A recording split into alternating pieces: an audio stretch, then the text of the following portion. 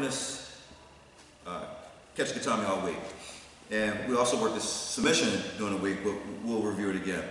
So when you catch the, you get this into Kata Gatame, like this, pinch this arm down this way. So this arm is pinching, and my goal is to bring my elbow up and push his arm down like this while I'm here. So I'm here, I push down, and as soon as his wrist touch my knee, I just collapse my knee like that. All right? Now, I'm focusing on keeping the L on his arm. If the arm turns this way, it's something different. If it turns this way, it's something different.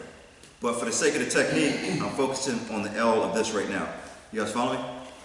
So here, so as soon as I push down, as soon as it touches my knee, here, straighten your right leg out, reach down with your shin, grab your shin, pull back. So I got this thing going.